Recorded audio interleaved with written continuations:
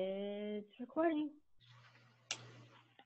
Well, hello and welcome to the APSA after school session on political parties and the 2016 presidential election. My name is Barry Burden. I'm a professor of political science at the University of Wisconsin in Madison, and I'm director of the Elections Research Center, also at the University of Wisconsin. glad to be with you, and I appreciate you taking your time uh, during this busy school year and election season uh, to think a little bit about political parties generally and the role that they're playing in this particular election year, which is not typical in a number of ways, as you're going to see. Uh, so I've got a series of slides to talk through with you, and um, and I, I, hope it'll be helpful as you think about interacting with students during this election campaign to put what they're seeing this year, uh, which might be the first presidential election they're really paying serious attention to, into some broader context. So let us start with a little bit of that context in thinking about what a political party is. What do we mean when we use that term? Uh, both what it is and what it isn't, uh, and what that means we ought to be looking for when we think about political parties. Well, there are a couple of definitions that political scientists have offered in recent years that I think are helpful just for orienting this discussion. Uh, one comes from John Aldrich's book, Why Parties, which is now a classic in the field. Uh, he suggests that parties are really a team of people, a team of politicians in particular, and that these are politicians who are trying to hold office, win office, and re win office. So, in his view, parties are not uh, people on the street or rank and file followers or even necessarily donors or activists these are really people seeking office or, or wanting to be close to those in office. And those people realize that there are some advantages from coordinating their activities. And so they form collectives, these are political parties, uh, to solve those coordination problems. Uh, those problems might be how to organize themselves in the legislature once they're, once they're elected, how to nominate candidates for various offices and, and coordinate that activity of office seeking, uh, so there are a variety of coordination problems that parties solve for politicians, which makes them willing to enter into these teams. Uh, what I think is a complementary view comes from a book that's also gotten a lot of attention this election year, especially during the nomination season. And that's a book by Cohen and his authors called The Party Decides. And they suggest there's a second group of people we need to think about, uh, not just politicians, but also a series of activists who have real policy demands. These are people who care about the direction of government, have a philosophy, want to see it enacted. Uh, they may be organized around uh, specific issues or around a grand philosophy, but they want to push government in a particular direction. And only politicians can do it for them because politicians are the ones who are in office and can make policy. And so the politicians end up wanting to hold office, but sort of working on behalf of these uh, policy seekers.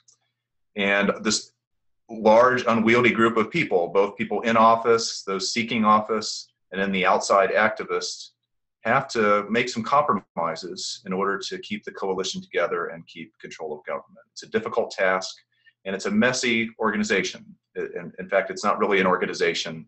It's a, it's a series of networks that connect people to one another.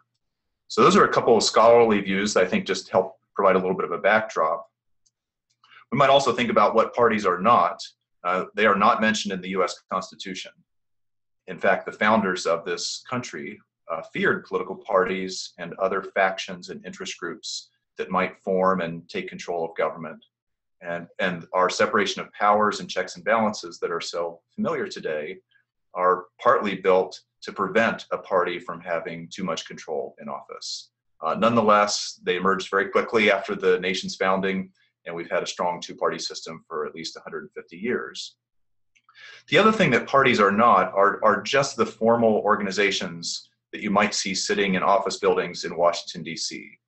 When we say party, we don't mean just the Republican National Committee or the Democratic National Committee or the state parties. It's really a complicated network of office holders, campaign activists, donors, lobbyists, uh, formal organizations, uh, people who are part of the conversation within a party. Uh, it, it, it's, it's difficult to get our hands around, but I think it's worth remembering that it's, it's a diverse group of individuals both in and out of government. So with that uh, in the way of backdrop, let's move ahead and think about uh, 2016 and what it has to say about political parties. And I want to start at the beginning of the nomination process. This is where parties are most active in choosing their own nominees for president through an internal process. And this year uh, was strange for both the Democrats and the Republicans in terms of the fields of candidates who actually ran in 2016. I'm going to walk you through that for both the Democrats who are on the left side of the screen and the Republicans who are on the right. The Democrats had an unusual nominating season in that the field of candidates was small and very lopsided. Only about half a dozen serious Democrats ran for president this year. Some of them, frankly, didn't have much of a shot given their backgrounds and records within the party. And it very quickly became a two person race between Hillary Clinton and Bernie Sanders. As you know, that contest went on right through the last primaries and caucuses and was even an issue still at the Democratic National Convention. Uh, but this is really an unusual dynamic to have an open seat where a president is stepping down and uh, the party is free to nominate whoever it likes to really coordinate behind two candidates uh, so quickly in terms of voters uh, is pretty unusual. It, it, doesn't look like the open fields we typically see. Uh, they often bring eight, nine, ten candidates uh, into the field to give it a serious go. This year was essentially one and a half to two candidates on the Democratic side, with Hillary Clinton really looking almost like an incumbent president or vice president, kind of the heir apparent for the party. And that actually made things tougher for Clinton than it could have otherwise been. She might have preferred a, a bigger field where it was her and her stature against a wide range of also runs. Uh, but that one on one race uh, obviously gave her a lot of difficulty right up through the end of the nomination season. The Republican side of the ledger on the right hand side of the screen is exactly the opposite. This is a field that is historically large 17 candidates at one point who are serious contenders former governors, people from business, senators, uh, others who have run before. Um, I, th- I, think a whole range of credible candidates, uh, but just a larger set of candidates than we'd ever seen. Uh, that is, as you're going to see, reflects partly divisions within the Republican Party. Um, it reflects maybe the lack of a front runner who could dominate the process early on, even though there are a couple of candidates there who look like real establishment candidates who might have played that role uh, in the end, that large field probably helped lead to the nomination of Donald Trump. He did not win more than half of the vote in many of the primaries and caucuses he entered, in most of them, in fact, until the very end. But the fractured field, a field this large and one where the vote is divided, allows a candidate, even who was only winning 10, 20, 30% of the vote, uh, to continue to ride near the top of that wave and, uh, in Trump's case, eventually become the nominee. So I think this process would have worked very differently in both parties had we had the standard number of candidates and kinds of candidates we see in most presidential nominations. On the Democratic side, Hillary Clinton in a standard year probably would have had an easier time of it uh, in terms of winning primaries and caucuses. And on the Republican side, we may not have ended up with Donald Trump as the GOP nominee had the field been six or seven Republicans rather than uh, 16 or 17. So the field is certainly unusual this year and not what you'd expect from political parties in most contemporary presidential election years. A related uh, factor to think about is the endorsement patterns for these candidates. We talked early on about parties being loose networks of people who are connected to the party establishment and to politicians.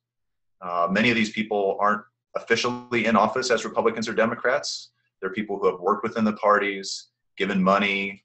Uh, in some cases, they're celebrities who have been attached to the parties. Uh, but they play an important role because they are able to coordinate activity around candidates and help winnow the field from many to a few. In most years, we see patterns of endorsements by these people lead very quickly to the eventual nominee. There's a sort of uh, rallying or circling of the wagons among these endorsers that that point in the direction of where the nominee ought to be. And that's typically around the person who's acceptable to the widest number of elements within the party. So I want to show you that the endorsement patterns also look very different for both parties in 2016. So the figures I'm showing you here, again, Democrats on the left, Republicans on the right, are from the website 538. Very useful resource in the classroom for showing um, particularly how, how the data play out in this year's election. So let's take a look at the left-hand side of the screen as a starting point. There you'll see endorsement patterns for Democratic nominees uh, over the last several presidential elections, starting about a year before the Iowa caucuses, so almost two years before Election Day, and running right up through the conventions. And what that scale is measuring is the total number of endorsement points that a candidate earns. In, in the 538 calculation, a candidate earns some points every time they get an endorsement from a governor, from a senator, from a member of the House of Representatives of their party. And those tally up over time and can be compared across candidates and across time. And you can see that the candidates who won the nomination in each of those years slowly built their endorsements over time. They gathered support from people within the party. Uh, Al Gore in 2000, who was the Democratic nominee that year, uh, starts building endorsements, gathering those a year before the first voting. Six months out, he begins to build a substantial lead over the other Democrat, really Bill Bradley, who ran that year, and begins climbing until he's in a, a really superior position by the time the first votes are cast in Iowa and New Hampshire. Uh, the, the more typical pattern is for the other candidates you see there on the Democratic side. Bill Clinton in 1992, Barack Obama in 2008, Mike Dukakis back in 1988. It takes them a while to gather enough endorsements. It takes a while for the party regulars to figure out who they want to support. In some of those years, there were some strong other candidates running John Edwards, Jesse Jackson, Paul Tsongas, a variety of other Democrats who gave it a serious run. But in the end, especially as voting begins in those first events in Iowa and New Hampshire, you see the endorsers come around and, and those blue lines jump upward until those candidates are uh, in the first position. So, what makes this year different for the Democrats is that Hillary Clinton was in essentially that position, not when the Iowa caucuses took place, but a full year before. Her score on this measure is where uh, Mondale and Dukakis and John Kerry were a year later just a very dominant performance. A candidate who was wrapping up endorsements from party regulars, again, from Democratic governors and members of Congress, in a way that no other Democrat in the modern era has. Uh, she looks like essentially a president running for reelection or a vice president who's taken up the mantle of the of the party. Uh, and Sanders, who's not shown there, uh, at least not explicitly, he's the dark blue line at the bottom, had a very difficult time earning endorsements from leaders within his party. So just a substantial gulf on that side uh, that doesn't quite reflect what the voting was like in the primaries and caucuses, but do help explain why she uh, eventually got the nomination. Now switch from there to the right-hand side of the screen where we have the nomination patterns for the Republicans, again from about a year before the Iowa caucuses until the first voting happens in uh, the beginning of the campaign year. Republicans generally show the same pattern of building endorsements over time, though they do it a bit faster than Republic than Democrats do. They, they tend to circle the wagons and identify a leading candidate who they're willing to unify around, typically a little faster than the Democrats do. Uh, you'll see that with George W. Bush in 2000, that pattern was especially strong. He was gathering endorsements, uh, particularly from Republican governors, at a fast clip that year, very early on, and uh, vaulted ahead of the field uh, months before the first voting took place. But it's also true of Bob Dole, who won the nomination back in 1996. Somewhat less true with the others, such as Mitt Romney and John McCain. Um, so, so there are some similarities between the parties in terms of building endorsements over time, but also a, a, little faster pace for the Republicans. They tend to be a little more in agreement about what kind of person they want as a nominee. Now, look at how 2016 differs from that pattern. You'll see Donald Trump is at the bottom of the screen in the lower right. He had essentially no endorsements from any Republican governor or any Republican member of Congress a year before the voting took place, six months before the voting took place. Even on the eve of the Iowa caucuses and New Hampshire primary, when the Republican field had already started to winnow and some Republican candidates had gotten out of the race, there were still almost no elected officials at the federal level or statewide level who were endorsing Donald Trump. Uh, some of the other solid lines you'll see there that aren't labeled are people such as Jeb Bush, the former governor of Florida, and Marco Rubio, senator from Florida, who did gather some endorsements, particularly as the voting got underway, uh, but never reached the levels of the other frontrunners and were only marginally ahead of Donald Trump. So the difference between the parties couldn't be clearer than it is in 2016. For the Democrats, party leaders very quickly decided she should be the nominee, and they rallied around her early and enthusiastically. And on the Republican side, it's not as though Republican officials decided to endorse other candidates or that they were divided among the many 17 candidates running for the nomination and that some of them circled around Rubio and some of them around Carson and some of them around Ted Cruz. It's essentially that Republican leaders decided not to endorse anyone this year. A large number of Republican senators didn't endorse any of the presidential candidates, and uh, the few that did did it late and in a kind of sporadic fashion. So Donald Trump, you're going to see, is the exception to the rule in a number of ways, and this is a prime one that political scientists would look at. Uh, the inability or the unwillingness of the party to, to consciously choose a nominee to do that actively this year and to essentially allow Donald Trump to become the nominee without really any support of the of the elected officials in his party. So that's the pattern of endorsement. That's one of the ways we look for a functioning party. And here, good evidence that the Democrats were organized and in widespread agreement, and very little evidence that there was much coordination going on among Republican elected officials in 2016. That lack of coordination among the Republicans reflects I think, some newly developed factionalism within the Republican Party. Political scientists used to think it was Democrats who were the factionalized party. You might remember Will Rogers' famous quip that he didn't belong to an organized party, he was a Democrat. And that was the joke that seemed to be true through much of the 60s, 70s, 80s, even into the 1990s. Democrats having an old fashioned labor base within the party, a new set of activists who were interested in uh, the environmental issues and abortion issues and other kinds of cultural things, and real difficulty in putting those factions together. And that often showed up in the nomination process for Democrats. But things have flipped in an important way in just the last couple of election cycles where Democrats have essentially been able to paper over a lot of those divisions and successfully nominate candidates and win national elections whereas the divisions among Republicans have, have really appeared and I think multiplied in a way we would not have expected. This is one take on those divisions, again from 538. This is their version of what they call a five ring circus, representing five large categories represented within the Republican Party. These are categories that have really just emerged and separated you know, in the last decade or so in the uh, in the center ring up in the middle is the the Republican establishment. These are the old guard Republicans, uh, people who would have been typical Republicans uh, 10 or 20 years ago. Uh, people like Lindsey Graham, the senator from South Carolina, is there. Uh, uh, Bobby Jindal is on the edge of that group, the gov- former governor of Louisiana.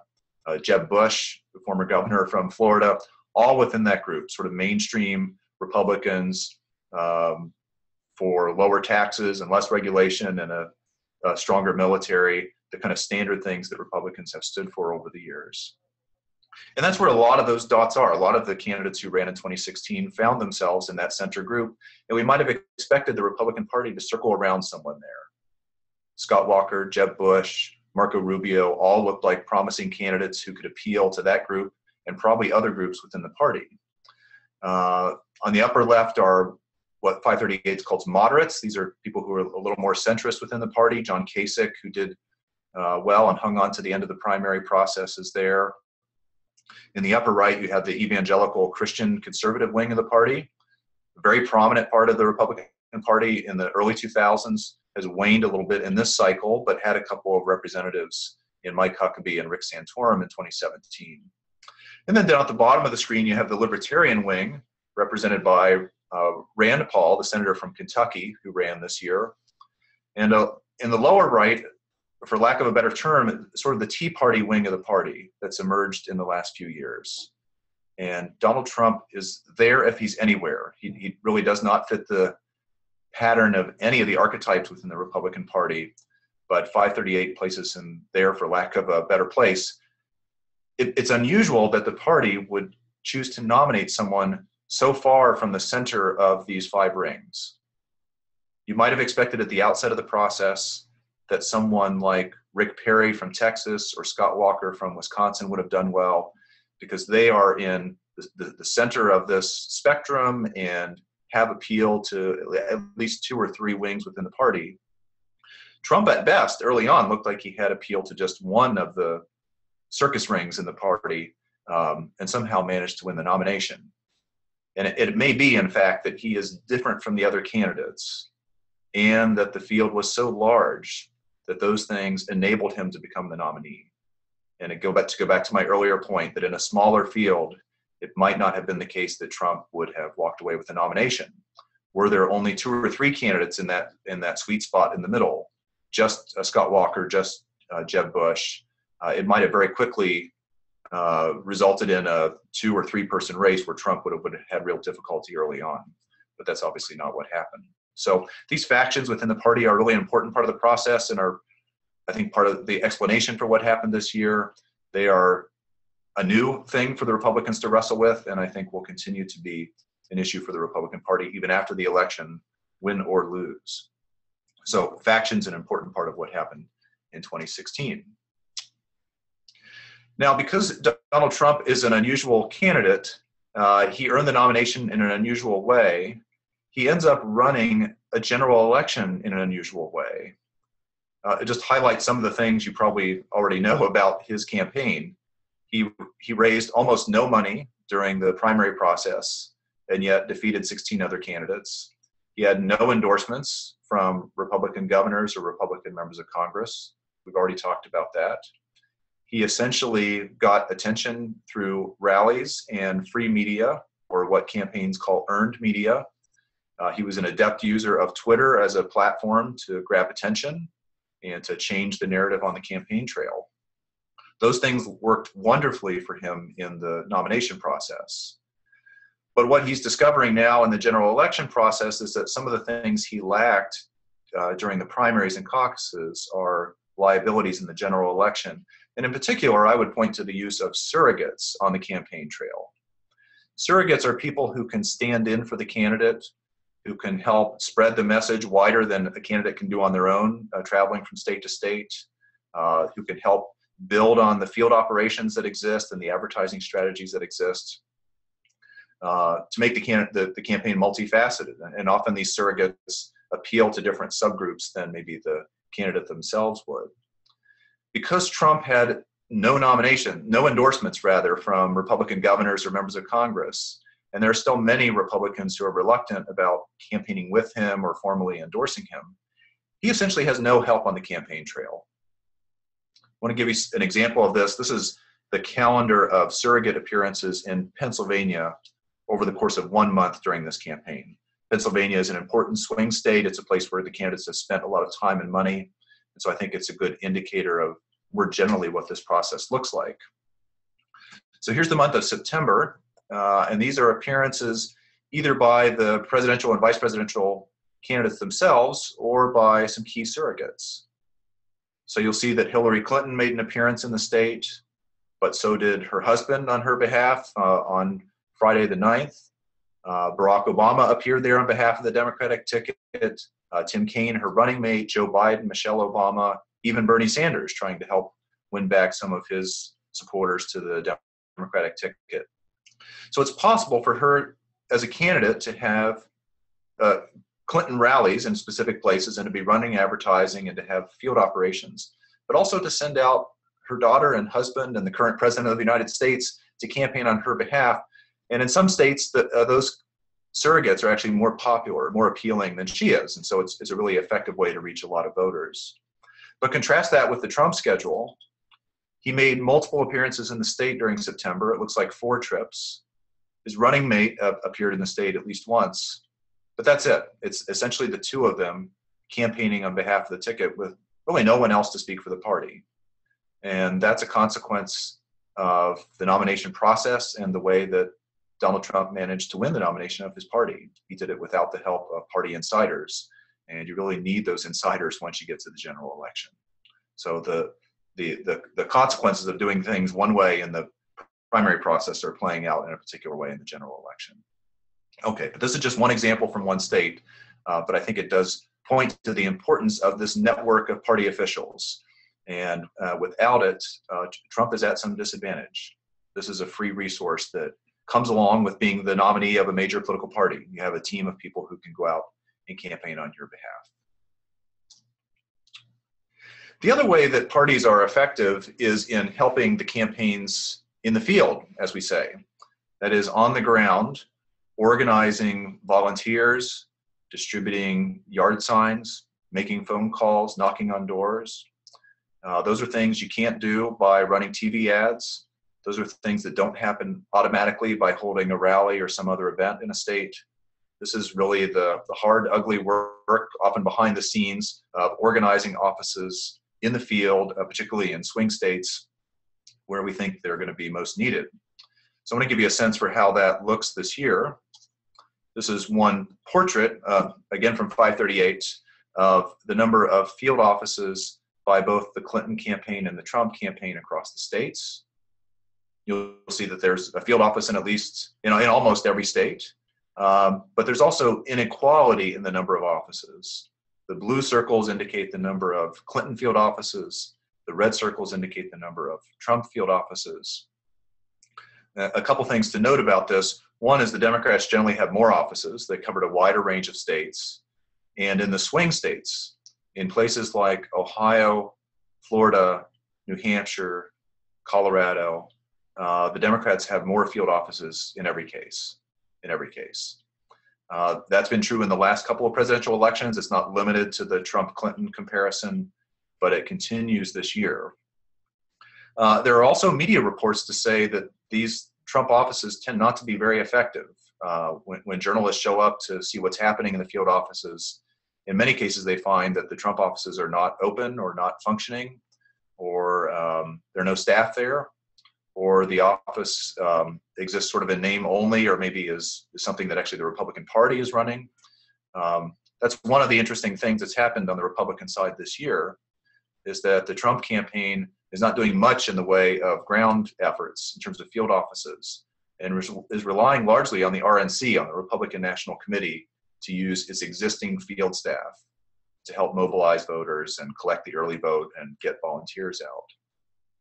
The other thing you'll notice is that some of the Trump offices are located in states that we wouldn't think of as particularly competitive. In South Dakota, in Arkansas, and Mississippi, there are a fair number of Trump offices.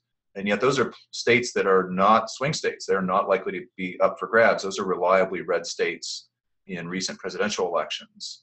And it seems to me that what those offices represent is enthusiasm of Trump supporters on the ground who have helped to organize those offices in those states and not, not really intentional planning by the Trump campaign. Okay, so here's, here's a place where Trump is outmatched. Clinton has a better field operation by all accounts, but he's assisted by the fact that the Republican National Committee exists and had some pre existing field operations before he became the nominee, and he's relying on those field operations to turn out votes and do the other things that are necessary to uh, to make, to make his campaign a success. And we're going to find out, obviously, on November 8th how that worked. So, campaign field office is part of what parties can do to support their campaigns. One other aspect of the party politics in 2016 that's been unusual is the pattern of fundraising by the candidates. I mentioned earlier that Trump won the nomination in a really unusual way, essentially running, uh, raising no money on his own and self-funding the campaign either out of his own pocket or from the Trump organization. Uh, that has now changed a bit as we've gotten to the general election. Just give you a sense of that. Uh, here's uh, fundraising by the candidates and by outside groups. The lighter bar in each case is the, the candidates fundraising directly. So as of last count, Hillary Clinton had raised about $373 million. Donald Trump about half that at 165 million. In the darker bar are outside groups that are connected to the candidate in some way.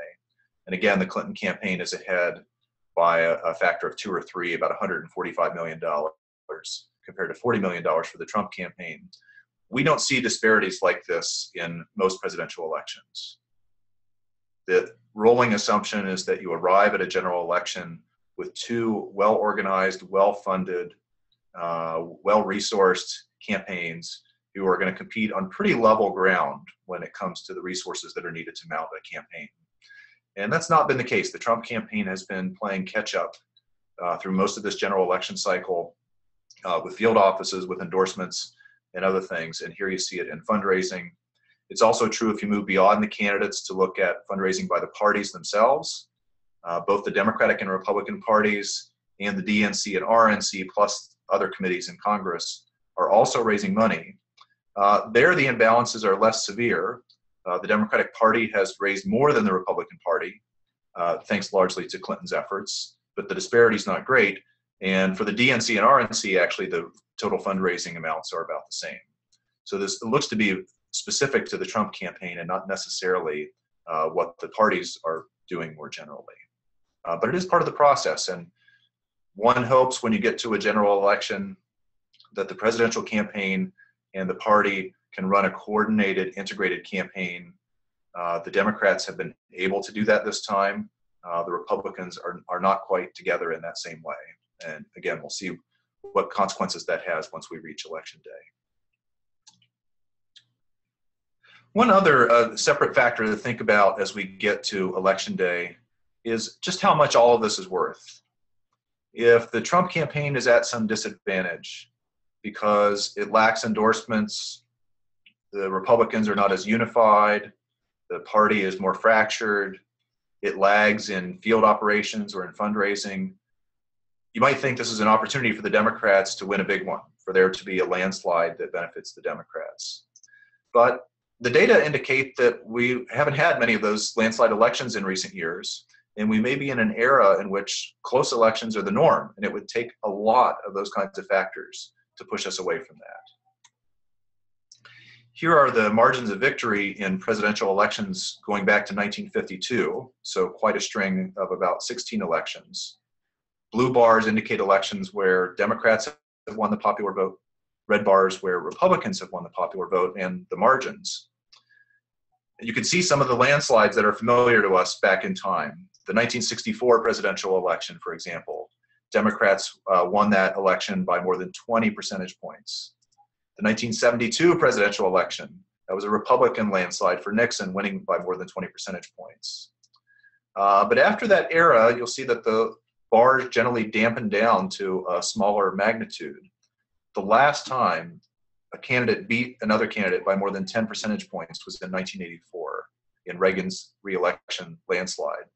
Since that time, including the Obama election, which looked like a triumph for the Democrats in 2008, the margins have been small, uh, sometimes uh, just a couple of percentage points, but never even as much as 10 percentage points.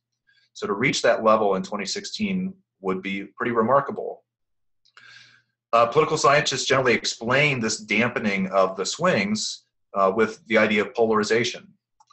That in the electorate, uh, there's been a sorting out of people's views on issues and their partisan attachments and their ideologies, such that those things are no longer in conflict the way they used to be.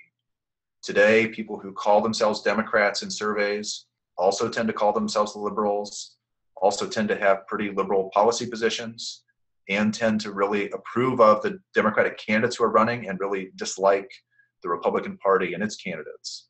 And the same thing holds on the Republican side. Republican voters now very loyal, conservative, endorsing of their candidates and really disapproving of Democratic candidates. And in that environment where the parties have moved apart and are distinct and uh, tend to have negative feelings about the other side, there just isn't much room for elections to swing wildly from one side to the other. There would have to be a tremendous imbalance in the perceived quality of the Clinton campaign and the Trump campaign this year for that to happen. Okay, so the, the lack of party apparatus or the divisions in the Republican Party might be great, uh, but they're going to have to be really severe, maybe more severe than I'm even portraying here today, for there to be a, a swing that puts us back into landslide territory of the 60s, 70s, or 80s something to keep in mind as kind of context for judging the election results in November. Uh, no discussion of parties in 2016 would be complete without thinking about the minor parties. uh, this year is a little unusual in that there are a couple of minor party candidates who are having some success. The photo there shows you Jill Stein, who is the Green Party nominee, and Gary Johnson, who's the Libertarian Party nominee. The Libertarians are actually on all 50 ballots plus the District of Columbia this year. No third party has done that in about 20 years since Ross Perot was on all 50 ballots back in the mid 1990s. Uh, so there's an opportunity. Uh, the Libertarians also have a, a ticket of two former Republican governors. These are very credible candidates who have actually held statewide office and belonged to one of the major parties at one time. Uh, together, these candidates are polling at about 10 or 11 percent. So something like one in 10 voters uh, are indicating they're interested in voting for one of these minor party candidates this year. And they may well swing the election. They're, they're doing well in some important swing states and could be the difference makers. But I want to highlight a couple of the reasons why political scientists think uh, there are real difficulties for third parties and, uh, and independent candidates in US elections. The first is there's this classic idea in political science known as Duverger's law, named after a political scientist, Maurice Duverger. Uh, his law was that in a system like the US, what we call a first past the post system or majority rule system, uh, single member district system, that that design tends to create a two party system. Indeed, the American political system has been dominated by two major political parties since the 1860s occasionally a socialist, a Green Party candidate, uh, a, a, progressive or populist candidate will have some success. There have been eras in American politics where that has happened, but essentially the design of the system encourages a two party system and discourages minor parties from hanging around even after a successful election. In contrast, Duverger says most other democracies have proportional representation. That's a system where a party gets representation in government that's proportional to how it did in the vote. So a party that gets 20 or 25% of the vote in a parliamentary system often ends up with about 20 or 25% of the seats in parliament. In contrast, when Ross Perot got 20% of the vote in the 1992 presidential election, he got exactly zero electoral college votes, and his campaign uh, didn't, and his party didn't last much longer. So this is the major factor that political scientists would point to to say why minor parties have a difficult time, why voters sometimes feel as though they're wasting their vote or throwing their vote away. Uh, it's largely Duverger's law. Uh, but there are also other disadvantages that get in the way of minor parties. Uh, ballot access laws present a real difficulty. Every state has a different set of rules for how a candidate gets on the ballot. It takes often millions of dollars and many thousands of volunteers and a lot of organization and lawyers to make sure that a candidate can get on the ballot. That explains why the Libertarians are the first to get on all the ballots in such a long time, and, and Jill Stein ended up missing getting on the ballot in a few states. Uh, the presidential debate inclusion rules are such that it's difficult for a third party to get on the stage. Uh, Johnson was the closest this year, but he would have needed to be polling at 15% in five recent national polls in order to appear on the stage. That's the standard that the Commission on Presidential Debates, uh, a private nonprofit group, uh, decided on, and he didn't meet those standards and so didn't end up in the debate, and that's typical for a presidential election year. Uh, campaigns finance laws are written in a way at the federal level that makes it more difficult for small parties than big parties. Major political parties automatically get federal matching funds if they wish to take them. They, that is, they get taxpayer dollars to help fund their campaigns if they want to raise money in a particular way to meet the standards that the Federal Elections Commission sets.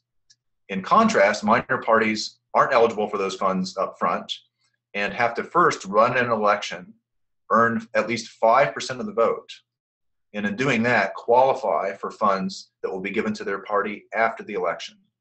So they essentially have to raise the money separately or run debt and hope that they can make that 5% threshold and get some funds after the fact. And then lastly is the idea of there not being a, an infrastructure for minor parties. Donald Trump has the advantage of having an RNC that already exists and has a field operation that he can rely on without having to put his staff into the field. Neither the Greens nor the Libertarians have anything like that. So they would be at a severe disadvantage the way all minor parties would. So th- these two uh, characters are important players in this year's election.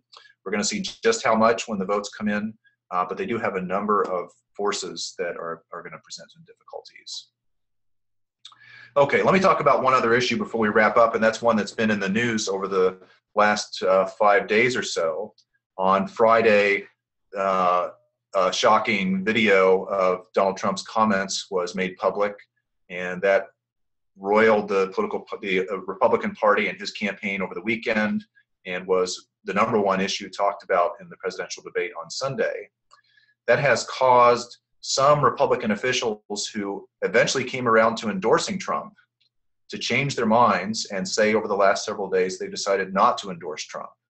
Senator John McCain, for example, who's running in his own election this year in Arizona and is a former uh, standard bearer for the Republican Party, had endorsed Trump in the general election, but has now said he can no longer do so. Uh, about a quarter of Republican elected officials in the Congress and in governorships have backed away from Trump, and um, it, it, looks like less of, a, of an organized team than you might expect in a regular election year. One question is who are these people? Which Republicans is it who have decided not to endorse Trump or to back away from him at this point? This is one analysis uh, just over the last few days about who those folks are. Uh, the, the two lines you see sweeping upward from left to right indicate the probability that a Republican member of Congress defects from endorsing Trump. In other words, these are people who jumped off the Trump ship, so to speak. And you'll see that it's strongly related to how democratic the district is. On the left hand side, you have districts that are very Republican, where Obama didn't earn very many votes. Those Republicans are still with Trump. They've endorsed him and they've stuck with him, so very little chance of defecting. It's a low probability. But as the district becomes more competitive, as you move to the right, particularly as you get close to that 50 50 line, those would be the most competitive districts where the Obama Romney vote in 2012 was about equal. There you see a strong uptick in the number of Republicans who have decided to go their own way, as Paul Ryan has let them do, and, uh, and unendorsed Trump. And it actually becomes a majority of Republicans once you get to districts that uh, Obama won. Uh, a, a, small number where there are Republican office holders, but nonetheless some. You also see differences between male and female office holders. Republican women are much quicker to unendorse Trump than are Republican men, even if they represent districts of a similar type. So this is where you see the tension between the goals of individual members to pursue their own policy interests, to make activists happy, to win office and keep office, versus trying to maintain the collective goals of the party, to have an integrated message, to have a collective ticket, and have success up and down the ticket as you get to the general election. The fracturing you're seeing over the last few days around this one incident reflects really deeper seated divisions within the Republican Party that are just coming to the fore uh, because of, of, Trump's particular way of campaigning. Okay, with that, I'm going to wrap up our webinar. Uh, I hope this has been informative and helpful for all of you. We've touched just on some of the issues that political scientists would think about in a presidential election season and how they connect to this particular one where Hillary Clinton and Donald Trump are the nominees and represent particular configurations of interests and concerns within the two parties. Uh, I wish you luck in teaching your students during this important campaign season, and thanks for spending your afternoon with me.